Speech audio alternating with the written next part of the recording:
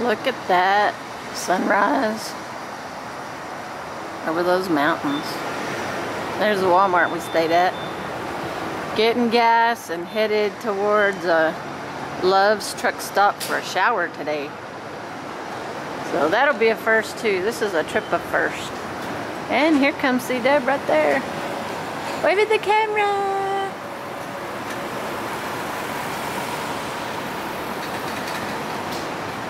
Beautiful. I love those peaks. So cool.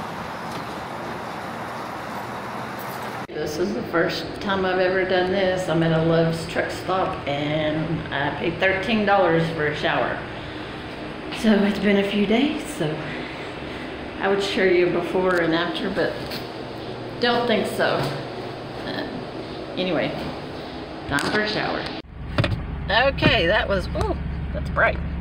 That was a wonderful shower, eating a little pimento cheese sandwich at, pooh, Sammy, at 8.45 in the morning. It's time to hit the road. That was a great shower.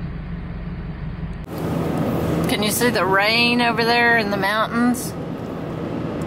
That is so cool. It looks like it's raining right in between those two mountains. I hope you can see it. Um, we just entered Arizona. Look at this big sign.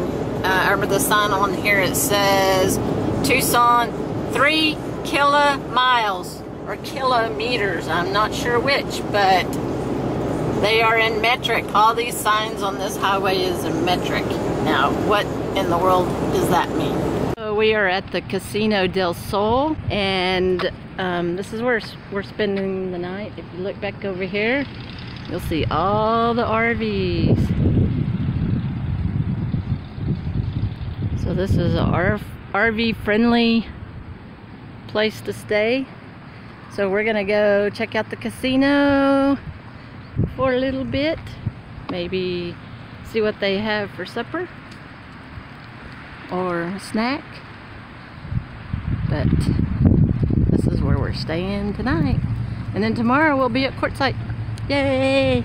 There's Cheryl. Hey Cheryl. Yo. So there is, I know I'm gonna go around here way too fast but there is RV after RV after RV. There's the casino right over there. The Casino del Sol. So we went and played a little bit of um, of the slot machines. That's basically all. And had the buy one get one free on the buffet. So we did the buffet. And there is just RVs everywhere. But great place.